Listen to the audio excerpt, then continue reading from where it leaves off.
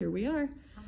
Hi, my name is Megan Anderson. I work in the administration part here at AIAM. I am an administrative support staff, level three, and I work with the students before they begin classes and during the duration of the time at AIAM. So here at AIAM, we like to focus one-on-one -on -one with students before they even begin classes. So when they are enrolled, they are assigned a support person. We have an entire support staff here at AIAM in administration.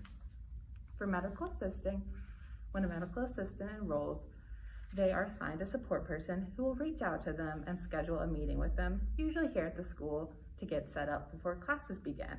During this meeting, they'll work on getting their email set up and showing them how email works. They'll set up their Populi, that's the program that we use for classes here at AIAM, and they'll show them key features in Populi such as getting their schedule, um, getting links for Zoom classes, things like that. We'll also show them the Ohio Student Disclosure video at this time and do any Zoom training if it's needed. They're also given a student ID, a standalone webcam, which they'll use for tests, and then a folder with different resources such as our student resource guide or things like the AIAM contact list.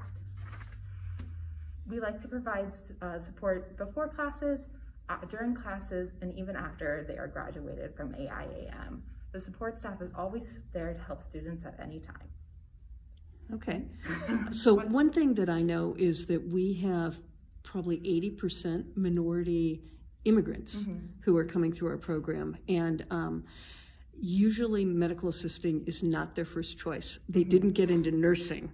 They couldn't make the uh, test cutoff to get into nursing, and so they are starting out kind of as a medical assistant. Um, and a lot of times they don't have technical skills. Mm -hmm. So, so emphasize. Yeah. So how do we help students with that?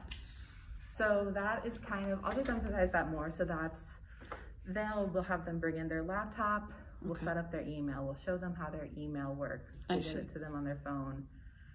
And then same thing with Populi, we'll show them how Populi works. We'll show them how to get to Zoom. We'll provide that Zoom training. So it's kind of one-on-one, they work through Yep. logging in for the first time, getting through everything. I think that would really help them. Okay, yeah. Yeah, okay. Anything else that you think someone needs to know that is looking at our MA and phlebotomy in terms of what kind of student support we offer?